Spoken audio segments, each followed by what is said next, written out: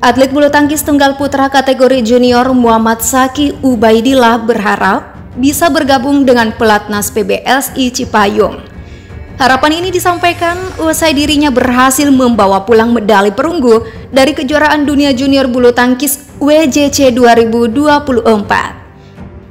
Ubed Sapan Akrab Zaki Ubaidillah memiliki peran krusial dalam skuad Indonesia yang diturunkan di WJC 2024. Keberhasilan pemain PB Jarum ini bersinar di BWF World Junior Championship 2024 telah membuat PBSI tertarik membawanya ke pelatnas Cipayung. Hal itu sudah dikonfirmasi Kepala Pembinaan dan Prestasi Binpres PP PBSI Riki Subaja yang mengatakan bahwa hasil manis Zaki Ubaidillah itu bisa menjadi pertimbangan PBSI saat promosi dan degradasi pemain di akhir tahun nanti. Ubed menjadi salah satu pemain Indonesia yang paling berprestasi di kejuaraan dunia junior 2024 yang berlangsung di Nanchang, China selama dua pekan terakhir.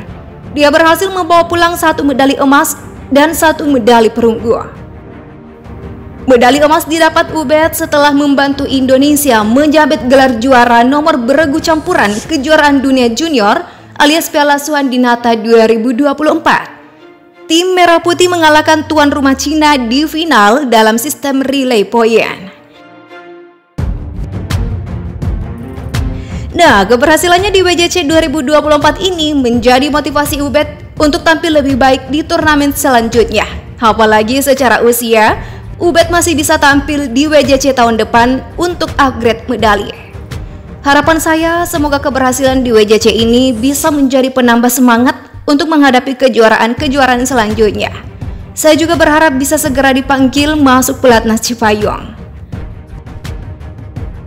Ubed tampil prima sepanjang WJC 2024. Ubed memastikan diri meraih medali perunggu usai kalah 19-21 2022 melawan wakil Cina Wang Zijun di semifinal WJC 2024 nomor perorangan.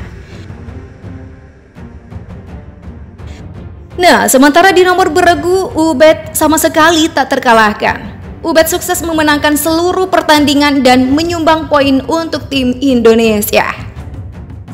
Secara total, Ubed enam kali diturunkan berlaga saat jalani laga nomor beregu campuran. Hasilnya, kemenangan Ubed ikut meringankan langkah tim Indonesia memenangkan Piala Swandinata 2024. Gimana guys, sudah pantaskah Ubed masuk pelatnas PBSI?